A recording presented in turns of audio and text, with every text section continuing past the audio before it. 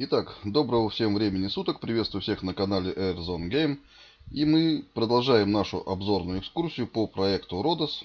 Напомню, что в предыдущей серии мы посмотрели уже на огромное количество предложенных нам работ, каких-то механик, интересных мест и дошли до профессии водителя автобуса.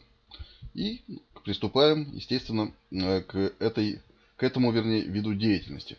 Вот так это выглядит и вот такой вот симпатичный, можно сказать, автобус нам предлагается. Ну и, наверное, вот на этом виде деятельности, на этой работе мы задержимся ну, максимальное количество времени по той простой причине, что мне есть что сказать и что показать. Э, в общем-то, как выглядит автобус, как это, в какой антуражности это находится, вы сейчас видите.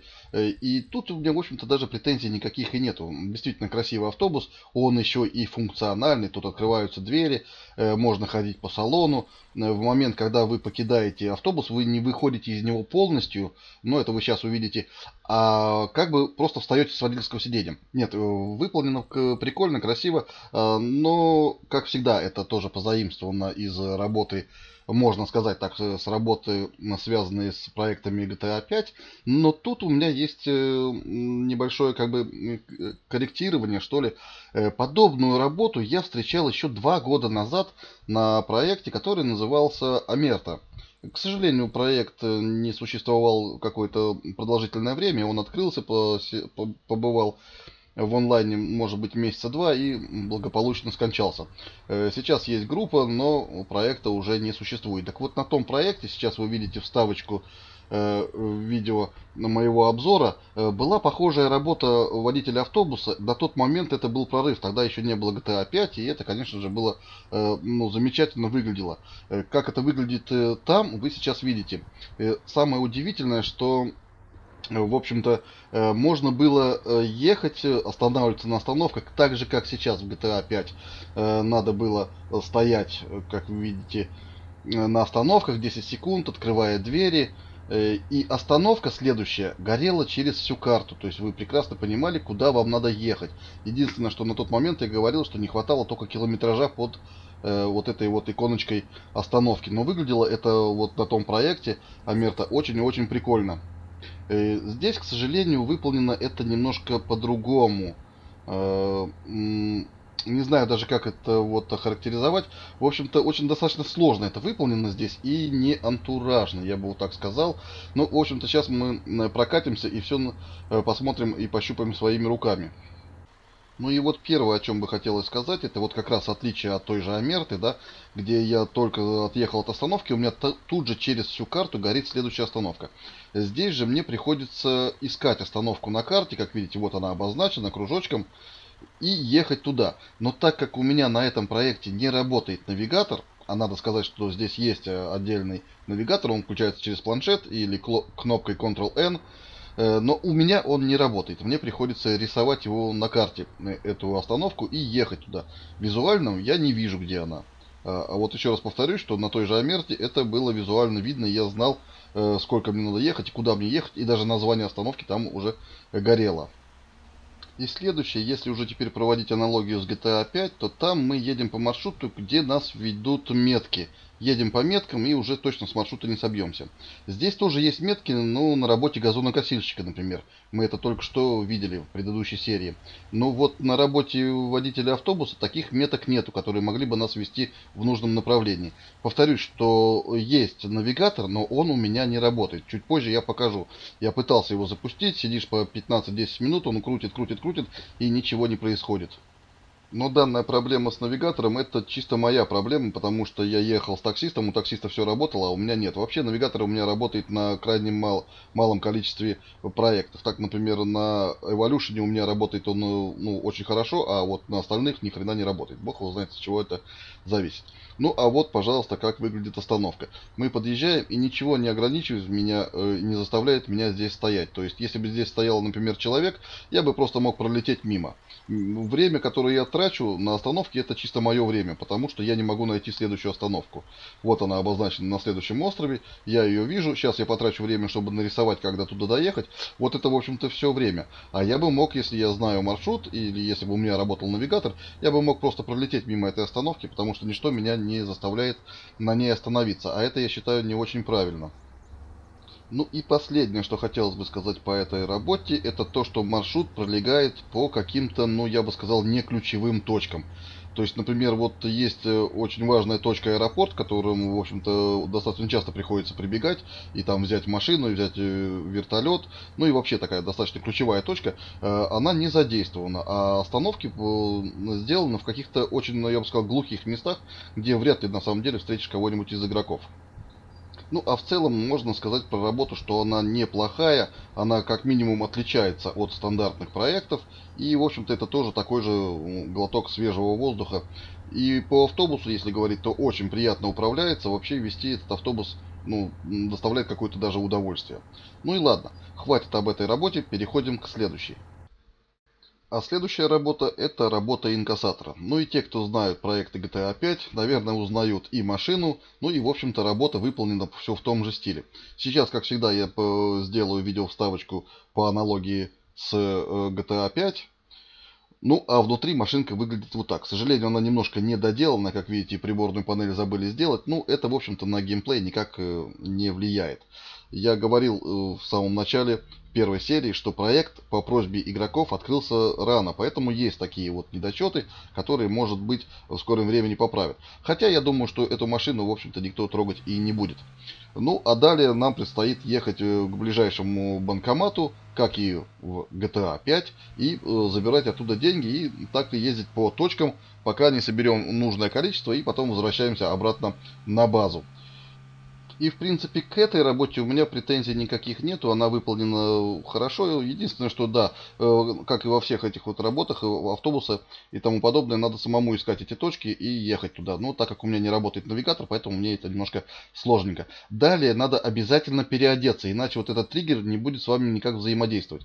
Конечно же, можно придраться к одежде инкассатора, это кобура и белая маечка. Ну, так себе антураж, конечно. Э, я думаю, что ребята это все-таки поправят и сделают какую-то более интересную ему одежду, инкассатору имеется в виду. А далее, ну, случился небольшой баг. Я искал следующую точку, а она оказалась вот тут. Видите, в самом левом нижнем углу карты. Повторюсь, что проект открылся э, по просьбе игроков слишком рано, он не готов э, на 100%, поэтому вот такое вот может случиться. Вот как э, на этой работе у меня. К сожалению, мне пришлось прекратить э, дальнейшее действие, связанное с этой работой, потому что ну, туда я никак не доберусь. Вот такой вот небольшой баг, и я уверен, что ребята в скором времени это все поправят. Ну а мы с вами переходим к следующей работе. А следующая работа это работа дальнобойщика. И надо сказать, что вот она мне понравилась больше всех. Ну и, наверное, неспроста. Она находится последней в списке, э, которые вам будут открываться э, по степени вашей прокачки. Да, она стоит самая последняя. Для, для нее нужен максимальный уровень, который у вас будет написан в планшете. Это я все показывал в первой э, серии этого обзора прикольная работа, и я даже не буду ее сравнивать ни с какой, ни с GTA, ни с какими-то другими проектами. Она не похожа ни на что. Э, как она выполнена, сейчас мы это все обсудим и посмотрим. Машинку надо арендовать. Стоит она недешево, но это того стоит. И быстро окупается, буквально за один рейс. Выглядит машинка вот так. И надо сказать, что это не дальнобойная машина. И вообще, в принципе, я бы переименовал эту профессию не дальнобойщик, а какой-нибудь там доставщик продуктов или что-нибудь такое. Ну, потому что машинка маленькая, и к тому же это еще и самосвал. Ну и еще один факт, что ну карта небольшая, поэтому здесь, в общем-то, слово дальнобой даже не подходит. Это не Алтис, на котором вы реально от одного конца карты до другого будете ехать 20 минут. Нет, здесь такого нету, карта небольшая, и, в общем-то, весь ваш э, маршрут э, займет, э, собрав все точки, наверное, ну минут, может быть, 15, то может быть 20. Но это весь маршрут. Поэтому тут тяжело эту работу назвать дальнобоем. Э, машинка выполнена, ну, просто на высшем уровне. Я даже захотел купить себе такую же ну, в магазине. Правда, что-то я ее не нашел. Мне кажется, она есть только вот на этой профессии. Я купил себе другую. Э, машинка интересная, управляется хорошо. Сейчас мы еще посмотрим, какой у нее функционал. Сама же работа заключается в том, что вам надо найти на карте точку, подъехать туда и вот как вы сейчас видите, подобрать груз, ну и все, и проследовать, в общем-то, на следующую точку. Э, у машинки много всяких интересных э, фишек. Так, например, у нее включаются аварийные сигналы, то есть включаются маячки на кабине. У нее поднимается и опускается борт, то есть это самосвал, как я на самом начале сказал. У нее есть дальний и ближний свет, у нее есть поворотники, у нее есть аварийка. Я вообще на самом деле влюбился в эту машинку, и не знаю, то ли из-за своей невнимательности, или может быть ее действительно нет в магазине, но я так захотел себе вот такую вот машинку.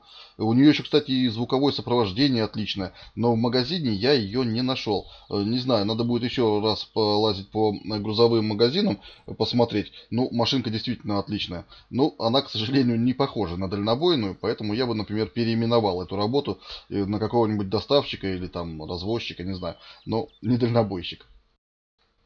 Ну, а так как мы заговорили о транспорте, давайте-ка я вам тогда сразу же покажу э, легковой транспорт на этом проекте. Скажу сразу, что весь транспорт я вам не покажу. Магазинов здесь много, магазины тоже подразделяются по левелам. Есть э, магазины, которые доступны сразу, есть магазины, которые откроются вам чуть позже. Э, я покажу вам только тот магазин, который расположен в столице. Э, столица, напомню, называется по названию проекта Родос. Здесь стоит автосалон, в котором есть два Э, аппаратов, в которых э, машины каким-то образом подразделены, уж э, смотрите сами. Машинки интересные. Как я и говорил в самом начале, в первой своей части, разработчики проекта подходят к выбору машин очень скрупулезно. То есть здесь не нагружены машины, не пойми какие. Здесь, как вы видите, они представлены практически все одного автора. Ну, большинство принадлежат одному автору. Поэтому машинки проверенные, как я и говорил, э, есть такая золотая середина, которой, видимо, придерживаются разработчики данного проекта, э, чтобы машина была и красивая, и в меру детализированная, но в, том, но в то же время она не пожирала FPS. Вот такие вот машинки. Есть, как видите, и покраска. Все та же э, стилистика выдержана. В общем-то, она ну, преследует этот проект, вернее, даже не преследует, а они выдерживают этот стиль из проекта в проект. Ну, а вот, кстати, и второй магазин, в котором тоже представлены э, машинки. Ну и какие они уж, это смотрите сами, кому что нравится. Наверное, это более спортивные э, автомобили. Машин очень много. Много как и легкового транспорта, так и грузового транспорта представлено на проекте. Очень много на любой вкус абсолютно. Мне вот э, нравится отечественный, к сожалению, отечественного транспорта здесь нету. Э, проект не выдержан э, в стилистике отечественного транспорта, поэтому здесь так э, все одни иномарочки, можно так сказать. Нашего транспорта здесь нету. Но и я тут нашел для себя интересные модели. То есть мне нравятся, например, старые американские машины, такие muscle кары. Э, то есть они здесь тоже есть. Ну и, в общем-то, э, остальной список автомотранспорта вы сейчас видите. Я немножко ускорю, потому что машин очень-очень много. Поэтому, ну, чтобы все это э, посмотреть и уложиться в эту серию, буду немножко побыстрее прокручивать. В общем-то, вы можете зайти на этот проект и сами все это увидеть. Посему я не вижу смысла очень долго на этом задерживаться. А вот по оформлению магазина хотелось бы сказать несколько слов. Когда я показывал здесь грузовой транспорт, я говорил, что мне не особо нравится, когда стоит транспорт на автопрокручивании, да, и выглядит это все где-то высоко в небе. И обычно это все так э, немножко подлагивает, и нет возможности покрутить машину, приблизить, удалить. Как видите, вот в этом магазине все выполнено совсем по-другому. Это находится в каком-то ангаре, заметьте, опять нестандартно выполнен ангар. Я могу поворачивать машину так, как я хочу. Я могу ее увеличивать удалять. То есть, ну, вот в этом магазине выполнено то, как раз то, что мне, наоборот, э, очень сильно нравится. Э, я люблю, когда я хочу посмотреть машину сзади, спереди, а не ждать, когда это автопрокручивание повернет машину в нужный мне ракурс. Я считаю, что вот такая вот схема магазинов гораздо интереснее и удобнее для самого игрока, в общем-то. Ну и, может быть, она в, в исполнении сложнее, я не знаю. Но мне вот этот больше нравится. Тут я как захотел, так покрасил, так приблизил, удалил. В общем-то, э, это мне нравится гораздо больше. Еще э, мне здесь понравилась одна из машин, не понимаю, почему она стоит здесь. Э, наверное, она виповская я так думаю, вот последняя машинка грузовая, хотя несмотря на то, что здесь представлен в основном спортивный ряд машин, кстати, очень красивых машин, Э, большинство из этого я вообще не видел. Э, вот. Э, сейчас вы ее увидите. Это такой грузовичок, которого я тоже никогда не видел. Скорее всего, он по ВИПу, потому что я-то попросился для обзора, чтобы мне подключили это все. Э, вот этот вот грузовик, который вы сейчас видите, я такого не видел. Я не знаю даже, чьей это руки э, произведения, не знаю, но мне очень понравилась эта машина. Прикольная, она и не э, мега детализированная. К сожалению, у меня не хватило денежек, чтобы ее купить и пощупать, но выглядит прикольно. Никогда не видел ничего подобного. Как видите, есть и модификации, но прикольная машина, прикольная. Очень мне она понравилась. Но надо сказать, не только подобные модели на этом проекте меня удивили. Здесь есть еще одна интересная фишка, которую я не видел ни на одном другом проекте. А именно открытие своего бизнеса. Здесь есть такой деловой квартал. И начинается он вот с такого вот офисного здания, в которое мы заходим, здесь стоит э, некий компьютер, мы с ним взаимодействуем, и здесь нам предлагается э, выбрать э, название для своей компании и открыть свою компанию. Э, в общем-то, на тот момент мне ничего в голову не пришло, как Airzone э, Автотранс Incorporated, по-моему, так я ее назвал. Ну, вы сейчас это видите. После того, как вы называете э, свою организацию, вам предлагается оплатить. И вот единственное, в чем я не разобрался, снизу идут какие-то аббревиатуры. Я не знаю, что они обозначают. Я выбрал самую максимальную аббревиатуру, которая дает больше возможностей. Выскочила табличка с подтверждением, хочу ли я купить и создать, вернее, э, свою организацию. Ну, это вы все сейчас видите. Естественно, подтверждаем и все. У нас открыта своя компания. Но и это еще не все. Здесь же рядом с этим бизнес-центром находится деловой центр где есть свободные территории для того, чтобы вы могли там э, организовать свою базу. Ну, базу, не базу, в общем, бизнес. Вот так вот они выглядят. Видите, они отделены заборчиками. Да, они выглядят все одинаково, так скажем, стандартно. Ну, в общем-то. Но вот так вот выглядят эти вот э, э кусочки земель, которые продаются. Э, они, их здесь очень много. Вот когда вы нажимаете выбрать землю, да, видите, красным обозначено те участки, которые свободны. Черным те, что уже проданы. Э, как вы видите, свободных очень и очень много. И это доступно для любого. Заходим в планшет, и там у вас теперь уже есть э, э, меню своего, своей организации. Но туда надо перевести деньги. Вот видите, я перевел деньги. Все, я захожу на участок, который я выбрал. Нажимаю, по-моему, Alt-C. И все, мне предлагается приобрести этот участок. Соглашаемся, и все. Вуаля! Как можно заметить, появилась новая организация. Эрзон Автотранс Incorporated. У меня свой бизнес. Но где еще можно такое найти? Я действительно это вижу первый раз. Я создавал некое подобие, но это было все через администрацию. А здесь я могу сам себе установить место гаража. Также через планшет заходим и, пожалуйста, я ставлю гараж там, где я это хочу. Я выбрал вот это место и все, пожалуйста, нажимаем пробел, у меня вот в этом месте стоит гараж. И это еще не все. Я могу выбрать место появления машины. Тоже там, где я хочу. Ну, это меня вообще очень сильно удивило. Выглядит это вот таким вот образом. То есть я взаимодействую опять через планшет, через свою организацию. Выскакивает стрелка. И вот то направление, которое от меня до стрелки, вот в этом вот э, э, направлении и будет появляться ва ваша машина. Я выбрал вот это место, и теперь мой, мой транспорт, который я загоню в гараж, будет стоять там. Далее нам надо поставить склад. Ну, склад, естественно, я выбрал в офисном здании. Ну, не пустовать же ему такая громила стоит на территории, что она будет пустовать. Я выбрал вот такой закоулочек, чтобы было удобно разгружать машину, забегать в дверь. Все, теперь у меня есть склад. Склад можно расширить. Также через планшет вы можете заходить в планшет и расширять свой склад. Это обалденная тема этого проекта. Вот, кстати, как выглядит одна из точек добычи ресурсов на этом проекте, которые, кстати, я теперь могу собирать и складывать на своем складе в бизнесе. А если я еще приобрету э, верстак, то я смогу и крафтить. Крафтить и продавать в интернете э, э, сделанные мною продукты. Ну а список продукции, которую я могу выпускать, он просто огромен. К тому же я еще и могу нанимать людей. По-моему, на данный момент мне позволительно нанимать до 5 человек. Вот такая вот интересная фишка. А вот, кстати, то, о чем я говорил, когда летаешь на вертолете, не хватает зелени на этом э, проекте. Сейчас вот для сравнения вставлю вставочку с проекта э, на базе Таноа, да, и вот разница сразу какая, там зелень и здесь. Ну и карта, видите, такая достаточно однотонная и очень, но очень мало зелени. Такая вот, как я и сказал, да, как плешивая собака вот, э, такими пучками растет.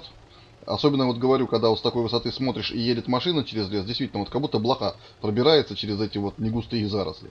Ну да ладно. Я думаю, что ребята еще и над этим поработают. Ну, а мы подлетаем к точке добычи ресурсов. Так как я вам уже показал одну точку, до которой не добралась рука разработчиков, я должен в противовес показать, что есть точки, на которых уже сделан весь антураж, все красиво, все очень и очень интересно. И подобных точек, на которых уже, так скажем, сданы под ключ и сданы в эксплуатацию, здесь, ну, приличное количество. И, в общем-то, собирая ресурсы, занимаясь фармом, вам будет не скучно и, ну, э, глаз будет радоваться. А, я же, к сожалению, должен был покинуть экстренно проект, э, потому что дела в реальности э, были очень важные. И я решил поставить вертолет вот на этой вот точке, надеясь на то, что зеленая зона, ничего с ним не будет. Действительно, не было абсолютно нисколько времени лететь до какого-то ближайшего нашего гаража. Но, к сожалению, когда я зашел, я понял, что вертолет у меня здесь украли. Я не читал правила и не знаю, можно ли здесь воровать транспорт э, в зеленой зоне на точке добычи или переработки. Не знаю. И не стал даже и спорить, и связываться с этим. Но, к сожалению, дальнейшего обзора красоты этого проекта не случится, потому как, ну, администрации на проекте не было, а денег на новый вертолет у меня тоже, к сожалению, не хватало. Поэтому на этом я предлагаю закончить обзор этого проекта. Давайте подведем кое-какой-то итог. Я по возможности постарался показать вам максимально того, что вы увидите и с чем вы столкнетесь, если решите зайти на этот проект. Показать то, как вы будете развиваться, с чем вам придется взаимодействовать, какие есть фишки интересные, функции на этом проекте, какая есть работа, ну и тому подобное. К сожалению, все охватить невозможно. Из того, что я показал, наверное, всего процентов 30-35 э, всего интересного функционала, который есть на этом проекте. Я действительно очень много всего не смог вам показать, и то, как здесь устроены военные части, как устроены военные действия, вот тот дальний остров, который я обещал показать, но, к сожалению, из-за потери вертолета не смогу вам этого показать, и то, какие здесь организации, и как они действуют, и как выглядят эти организации. В общем, еще много-много всего, чего я не успею вам показать и не смогу, но у вас есть возможность зайти и посмотреть на это все своими глазами. Что же касаемо меня, то мне проект понравился. Действительно понравился. И я считаю, что это лучшее из того, что я видел под брендом Rodos. Я посещал много их проектов, ну немного, а три. И это, я считаю, топовая сборка и, в общем-то, топовый проект. Да, я бы его, наверное, порекомендовал. Если кому-то понравился этот обзор, кто-то хочет э, испытать себя в РП направлении, заходите, играйте, получайте удовольствие. Ну, а у меня на этом все. Спасибо всем, кто посмотрел. И всего вам доброго.